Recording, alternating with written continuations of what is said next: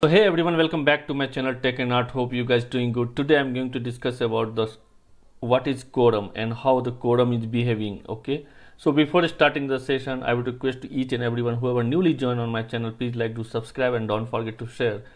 Please visit the channel playlist SQL Server DBA you can get multiple videos which can help you to day-to-day -day activity and I have covered a lot of interview questions as well okay? So let me start so what is quorum basically? So quorum checks for the minimum number of votes required to have a majority and own the resource. Okay. We'll understand the cluster things, the high level setup communication. What is the cluster? If you come and see here, the cluster nodes in the Windows failover cluster tries to begin a communication with all the nodes in the cluster group so basically in a cluster setup, all the nodes always talking to each other. Okay. Second point, once the communication is set up between the available nodes, they will talk to each other achieving a majority. As I said, once the communication is established, cluster node always talking to each other. Okay. If the the voting majority is established, the cluster resource becomes online. The fourth, in the case of no majority, the cluster service are set to offline status for a temporary basis and nodes wait for the nodes to come online so that the majority can be established. So if you know the majority is less then the cluster service will be go offline for a temporary basis and always the nodes will try to bring up to the own resource okay? So this is the basics high level setup of clusters. But today we will understand the functionality of quorum okay? How quorum is playing the classical role in a cluster setup. So we'll see here the quorum mode for windows failover cluster. So basically quorum is working on a formula that n by 2 plus 1 where n is the number of nodes. We'll understand this based on this diagram. So here we have a 4 node cluster setup. Okay. Node 1, node 2, node 3 and node 4 all are talking to each other. This is the cluster setup with 4 nodes. Okay. so as per the formula what is the minimum uh, node majority n by 2 plus 1 so it will be 3 okay so always three votes should be there to bring the cluster online. Now take a scenario. If you come and see, take a scenario here. Node 1, okay, and node 2 cannot communicate between node 3 and node 4. Okay, what is scenario? Node 1 and node 2 cannot communicate between node 3 and node 4. Okay, node 1 and node 2 can be communicate with each other Similarly, node 3 and node 4 cannot communicate between node 1 and node 2 and node 3 and node 4 can communicate with each other.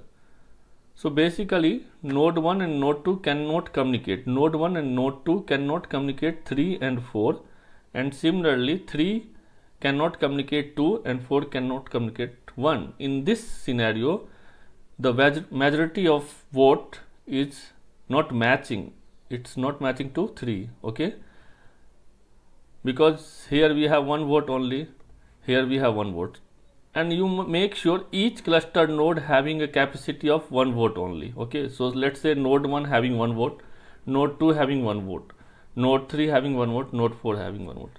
Node 3 and node 4 can communicate between but having the majority only 2 because they are not communicating between any other cluster, uh, cluster node but node 1 and node 2 can communicate but here also having the majority only 2 so in that case cluster service will go offline in this setup okay? So now what it will do? So in this scenario node 1 and node 2 try to bring the online the resource that is owned by the node 3 and node 4 similarly node 3 and node 4 tries to bring the resource online that are owned by the node 1 and node 2 so they will try to bring the online vice versa okay? Then only it will be possible to bring the cluster service online. Now we'll see uh, in, in, in the three node cluster okay? Let's say we have three node cluster and one node is not able to communicate. So in in three node cluster node 1 node 2 node 3 but node 1 and node 3 cannot communicate. But still we have the majority to bring the cluster online. So minimum majority is 2 and that's required and that is fulfilled here but still we can you know uh, our cluster is online okay so that's the reason the recommended cluster uh, method is try to set up always the odd number of cluster nodes. So let's say 3, 5, 7, okay. So this is the recommendation to try to set up odd number of cluster node, okay. Now we'll see the classical role of, you know, the quorum disk.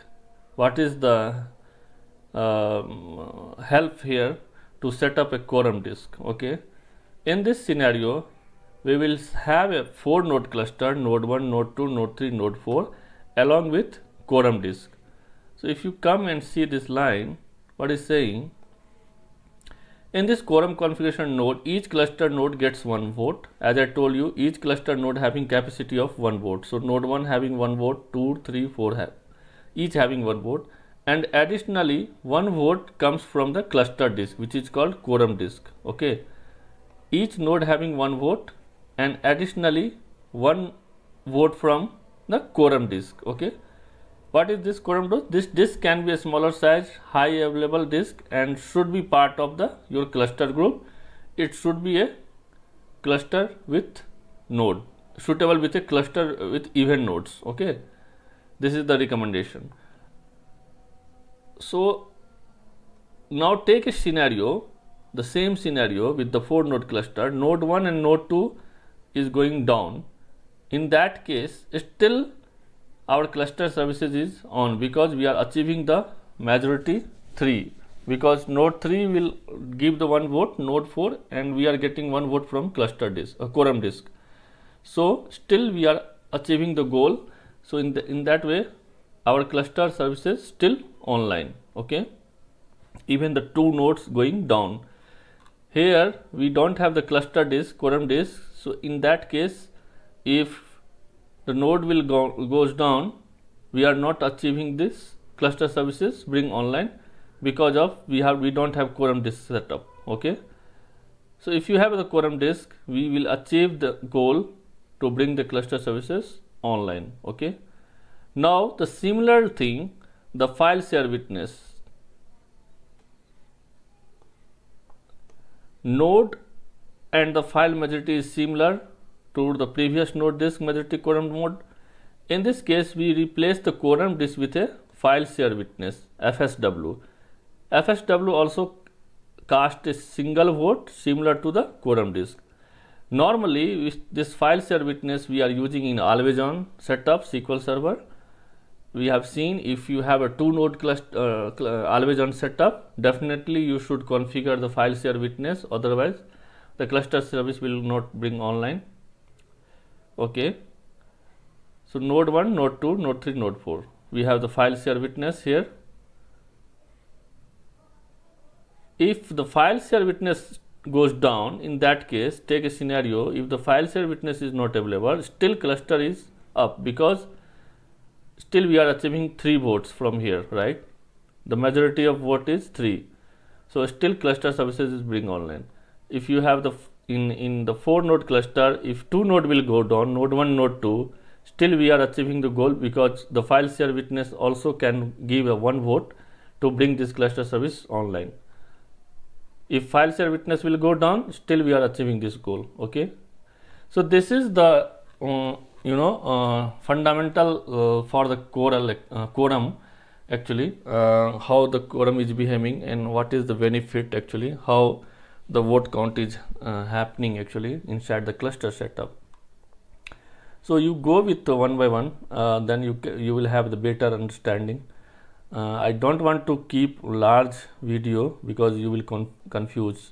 So just focus these three examples. You will uh, have a better understanding to understand the quorum actually. Okay? So let's it that's it for today. I will meet soon in a new video. Thank you guys